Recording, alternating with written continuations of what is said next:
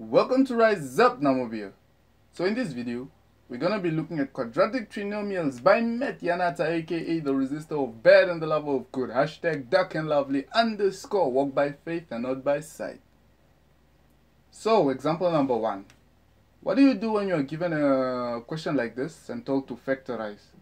So rule number one, ignore middle term and increase middle space. Now in this instance, our middle term is 13x. So we ignore the 13x and increase the middle space like this. Okay? So rule number two, multiply a and c. So what is our a and c in this question? Our a is 2. Our c is 15. Okay? And the 13 is like a b. So what is our a and c? It's 2 and 15. So what is 2 multiplied by 15? It equals to 30. So here's the 30, okay? So rule number 3, find factor pairs of AC, which is 30. What are the factor pairs of 30? Here they are. So if you don't know how to find these, I'll advise you to watch the previous video, which I'll be putting in the description down below, okay? So after finding your factor pairs, rule number 4, ask yourself, which factor pairs, when added, give us a positive 13? Which positive 13 are we talking about? We're talking about the b, hmm, which is our second term, which is a uh, like a positive 13, okay? So why do we use addition? Because like the sign in front of the 15 or the sign in front of the c is an addition sign, okay?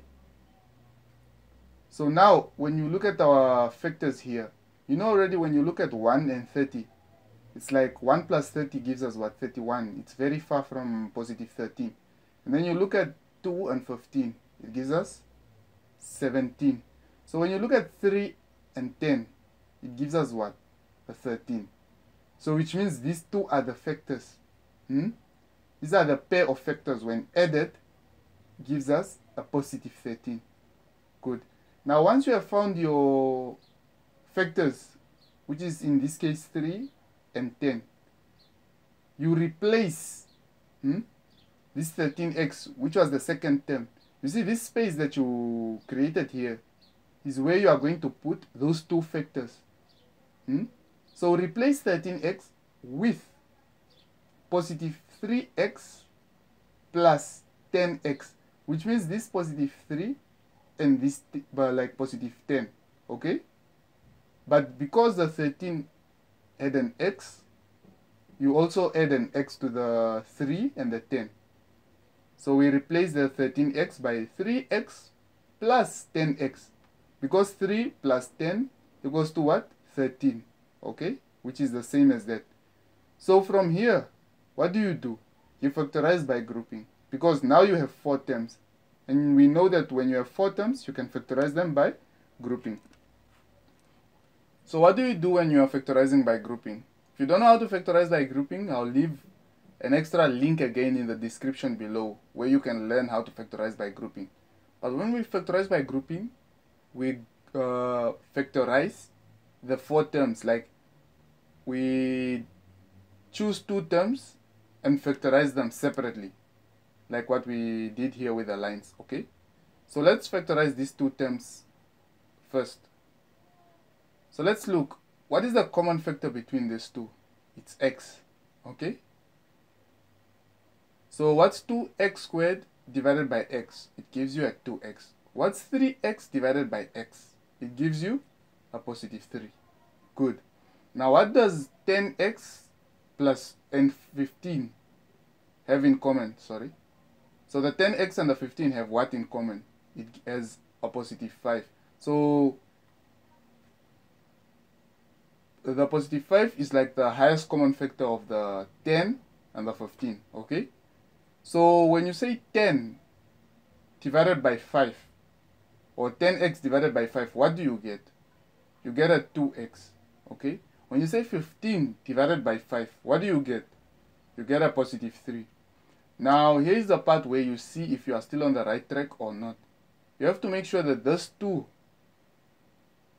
brackets are the same okay once you get to this point if those two brackets are not the same it means you have made a mistake somewhere somehow and you have to restart, okay? So if you get here and these two brackets are the same like in this case, what you do is you take one bracket that will be part of your answer and then you look at this x plus 5 will be part of your other answer or be part of the answer as well. Now, just like that, you've got your answer. Now, to test if this is correct, you can multiply it out. And then if you multiply it out, it should be able to give you this, which was your question, okay? Let's look at example number two. So what do you do when you have something like this? Let's follow the rules. Ignore the middle term, which in this case now it's negative 2x, and increase middle space. So we do this, okay? Rule number two, multiply a and c. So what is our a and c in this case? It's 3 and negative 5, okay? So what's 3 times negative 5? 3 times negative 5 will give you a negative 15. But in this case, given that a lot of people get confused with negative numbers, I would like you to ignore the negative sign for now and just say 3 times 5. What does 3 times 5 give you? It gives you a positive 15. Okay? Now, when you get a 15, let's look at rule number 3. Find factor pairs of that 15. What are the factor pairs of 15? Here they are. Okay? Now, which factor pairs when subtracted give us negative 2? Okay? Now, why do we use subtraction here? Now we bring in that negative sign. We use it here. So, we use the subtraction because we have a negative sign in front of the 5 or in front of our C. Okay? Because we have a negative sign, we use subtraction here. So, which factor pairs when subtracted give us negative 2? When we look at 1 and 15, let's look at this pairs quickly. 1 and 15 are very far from negative 2x. So we skip this pair. We look at another pair. What is 5 minus 3? It gives us a 2, but a positive 2. But what are we looking for? We are looking for a negative 2. So when we say 3 minus 5 gives us what? 3 minus 5 gives us a negative 2. So the factor pairs hmm, that give us a negative 2 when subtracted are 3, like a positive 3, and a negative 5. Okay? Now, given that a positive 3 and a negative 5 are the pairs that give us negative 2, we replace the negative 2, which is here, with the positive 3, x minus 5x, okay? So just like that. Because positive 3 minus 5 gives us negative 2. So it's so which means this positive 3x minus 5x is the same as negative 2x. Good. Now from this point, because you have four terms, 1, 2, 3, 4, we factorize by grouping. Okay? So what do we do when we factorize by grouping? We factorize two terms separately. Okay? So let's look at the first two terms. What do they have in common? They have a 3 and an x. Okay? So what's 3x squared divided by 3x? It's just x. What is 3x divided by 3x? It gives you a positive 1. Okay? Let's look at 5x minus 5. What do they have in common? Or what is the highest common factor in here? It's negative 5. Okay? Now, if it's negative 5, what is 5x divided by negative 5? Mind you, this is like negative 5x divided by negative 5. It gives you a positive x. What is negative 5 divided by negative 5? It gives you a positive 1. Okay? So just know that once you like uh, have a negative here, when you come and write your factor, there will also be a negative here, okay? Don't get confused there. Now let's look at our brackets. Are they the same? x plus 1 and x plus 1. Yes, they are the same, which means we are on the right track, okay? If your brackets are not the same here, you are not on the right track and you have done something wrong somewhere, somehow. So what do we do? We write x plus 1 as one of the brackets in the answer part and then 3x minus 5 as the second part of the answer. And just like that, we have found our answer for the second example. Okay? So let's look at example number 3. What do you do when you are given something like this again? And you're told to factorize. So rule number one, ignore the middle term and increase middle space. Now what is our middle term in this case? It's a negative 17x, okay? So we ignore the negative 17x and we increase the space. Rule number two, multiply A and C. What is our A? Our A is a 4 and our C is a, also a 4. So we say 4 multiplied by 4 gives us what? 16.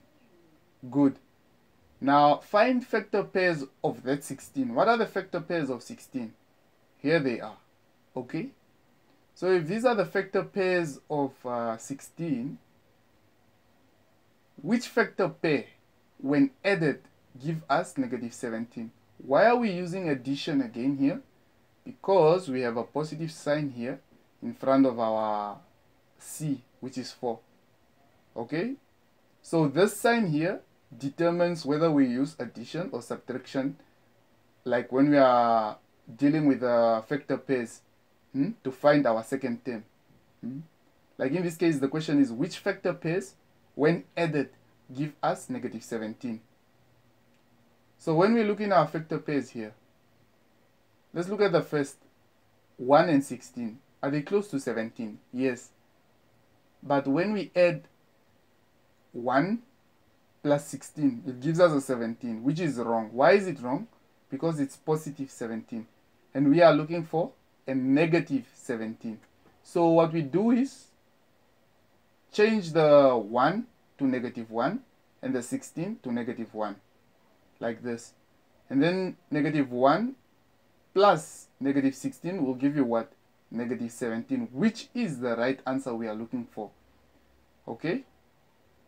Now, given that negative 1 and negative 16 are the right answers that gives us negative 17. It means that this negative 17 is the same as negative 1 plus negative 16. So which means we use these two factors. Hmm?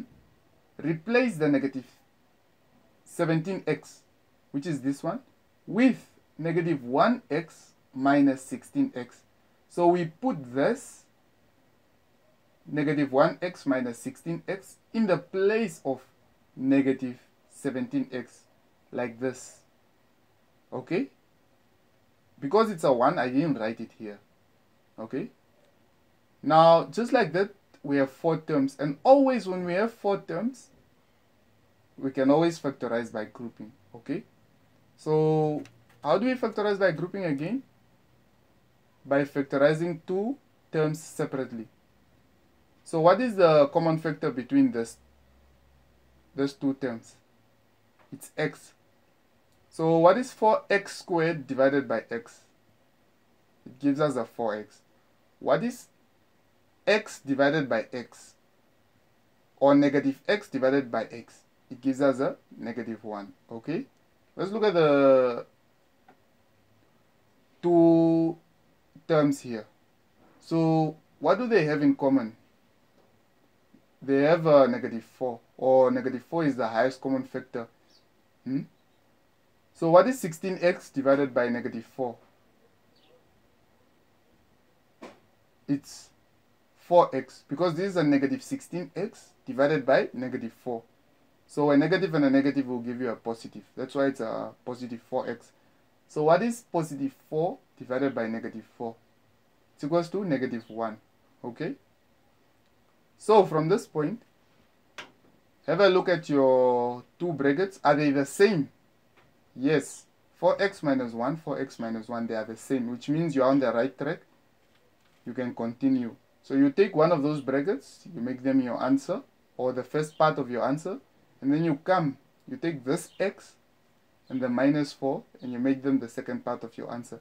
And just like that, you have found your answer for uh, example number 3.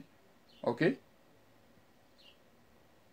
So over here I've given you test questions. Feel free to post the video and try them out and see if you can get the right answer.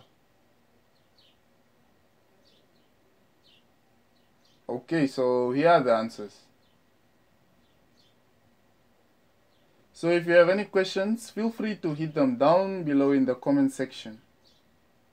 Thank you all for watching. Please do like, subscribe, turn on that notification button to be the first to see the next upload.